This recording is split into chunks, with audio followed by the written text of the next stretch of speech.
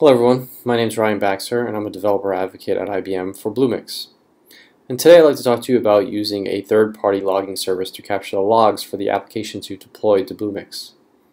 Now there's a number of reasons why you might want to use a logging service.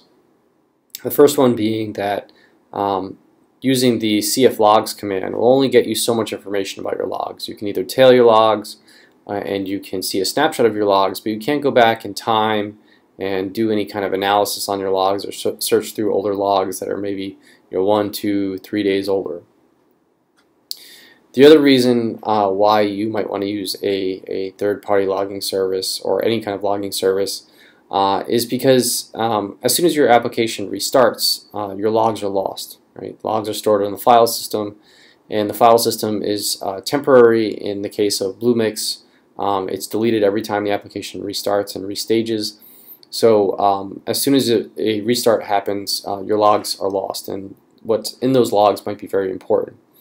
And restarts might happen uh, quite often uh, in a system that is uh, practicing continuous integration and continuous delivery. It might happen multiple times a day, for example. So um, uh, this is a, a, very big concern, especially when you want to um, keep track of your of what's going on in your log files.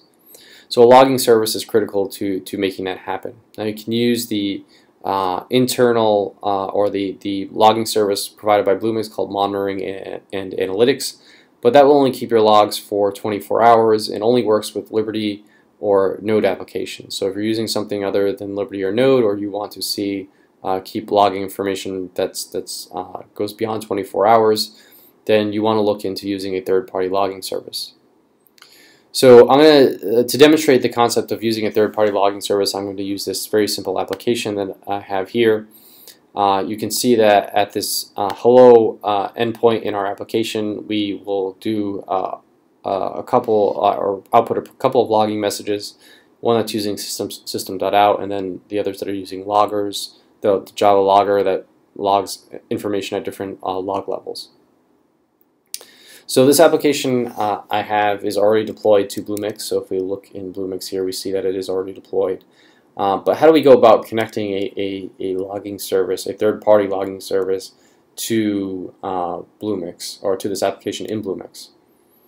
Um, so you can choose from any number of logging services, third-party logging services that are out there, um, as long as they support the syslog protocol.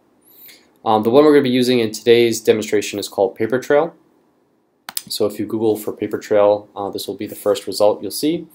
Um, you can create an account on Papertrail for free and you can connect uh, uh, many different systems to Papertrail uh, in order to track your logs. Um, all for free up until I think they only keep logs for I think seven days or something. And if you need logs to be kept longer than that, then um, you'll have to uh, create a pay account. But for free, you can do quite a quite a bit. Um, but to get started uh, connecting our application to Papertrail, we're just going to click on Add System up top here. And um, because we want to use syslog um, and the syslog protocol, we need to click on Alternatives here, right below. And it's going to ask you to choose your situation. Um, and you don't see one here for Bluemix, but uh, in this case we can actually choose that we are using Heroku, even though actually we're not using Heroku at all. Um, but it happens to be that Heroku and um, Bluemix or Cloud Foundry um, uh, capture logs in the same way or output logs in the same way. Um, so we can say that we're using Heroku even though we're not, and we just need to give this thing a name, so we'll call it logs demo, and we'll click save. That's all we really need to do from the Papertrail side. You'll see that um, Papertrail gives us a, a a domain and port where our logs are going to be needs to be sent to. So we need to tell Bluemix about this domain and port. So how do we do that? Well, um, we have to create some type of service that our application can bind to that tells our app about this domain and port, and it's actually pretty simple to do. We need to create a user-provided service, so we're going to jump over into our command line here, and we're going to execute a command to create a user-provided service. So to create a user-provided service, we you use the cf cups command. Um, and uh, the first parameter to this command needs to be uh, the name of the service uh, that you want to create. So we're going to call it paper trail in our case. Then you specify dash L to indicate that this is going to be a syslog service. Um, and then the uh, syslog URL always starts with syslog colon slash slash. And then uh, we just need to copy our domain import that was provided by Papertrail here. So we'll copy this domain import and we'll paste it in here. And then uh, press enter and that will create our user provided service. So you can see we were able to create that service. Now let's go back to Bluemix here in our application. And we're going to bind a service. And when this dialog comes up, there should be uh, we should be able to see our Papertrail service uh, listed here in dialog along with the other services that we have created uh, in our account. So we see here is our Papertrail service. It is a user provided service. So let's select that one and click add. And Bluemix will now tell us that our application needs to be restaged. So click OK to that and wait for Bluemix to finish restaging the application.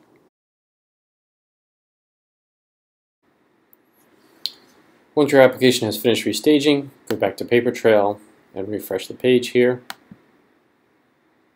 Here we can see we are now brought to our uh, logging console and we can see all the output from our logs. Actually, this is just from our, our staging uh, that just occurred uh, right here to our console.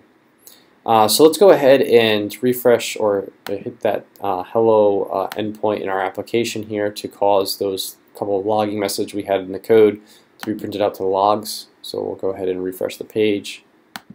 When we come back here, we can see that there's new messages down at the bottom. Uh, so this updates live as new logs come in, which is really cool. Uh, so we can see here's our system not out, here's our info message, here's our warning message, and here's our severe message. Uh, you can do things, you can you can search your logs as well. Um, so you can search for things like uh, you know warnings, right? So if I want to find any strings that have warnings there, we can see warning um, or, or um, error, right? There might be common things you might want to search for in your logs, and we can see that. And you can save searches, which is really nice. But like I said, the, the coolest thing is um, um, the ability to archive your logs and, and, look over a longer period of time. So you can always download archives uh, for logs that you might have over uh, uh a, a, longer period of time. Or you can even connect this up to an S3 bucket in, in Amazon and have your logs stored there. So there's many different options for persisting your logs.